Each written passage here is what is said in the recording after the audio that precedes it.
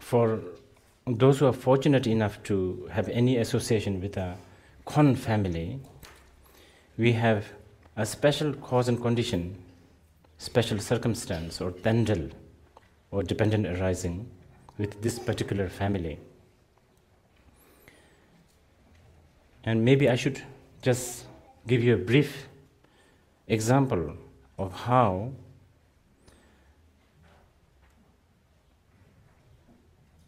some of my uh, tutors appreciate and um,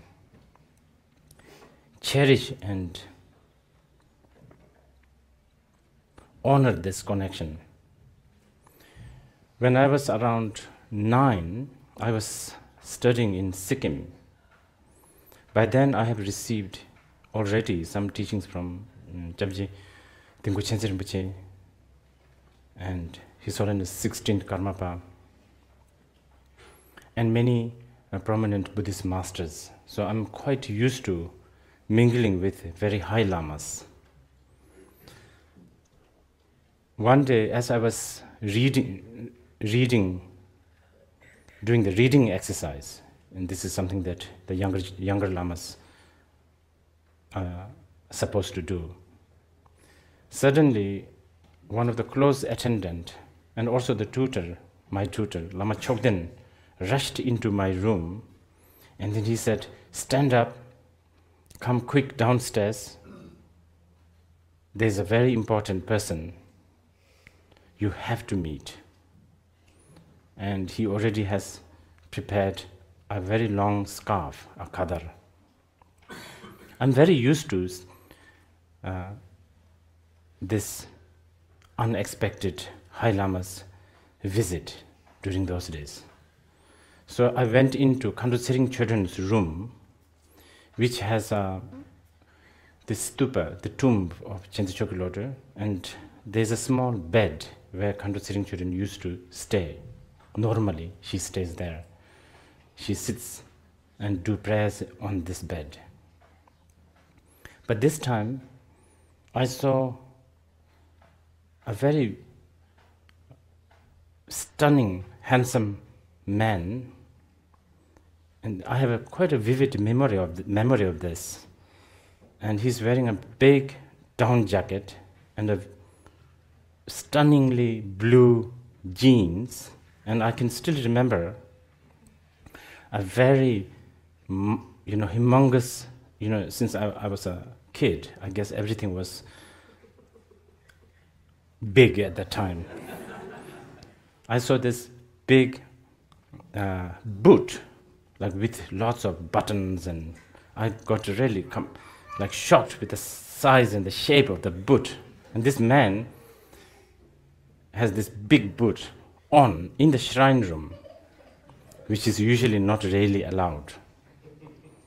But on top of that, my tutor, in his scolding voice, said, Prostrate, chatse chatse meaning you have to prostrate. So I thought, I, I thought I'm supposed to prostrate to the Kudung, which is the tomb of the Chensi Chokolore, because I have never been told to prostrate to a young man wearing jeans, down jacket with the big boots on. So I prostrate one to Kudung. But then he grabbed my neck and he said, no. not there, here, to this.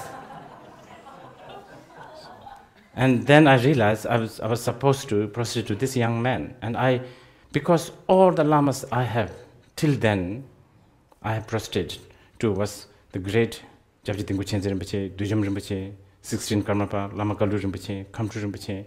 They all look kind of uh, monkish.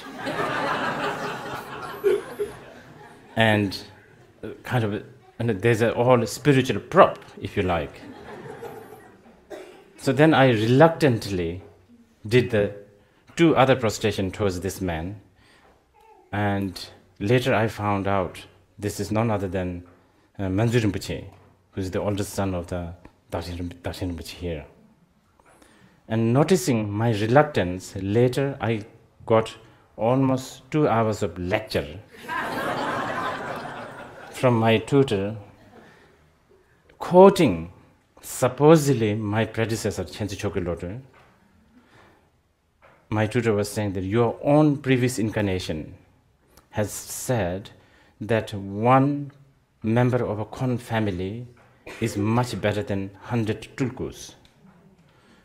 These are the family descendant from the Manjushri himself. So there is among many other reasons there. This is one of the example how i feel today that i'm very blessed that i have i'm creating this connection.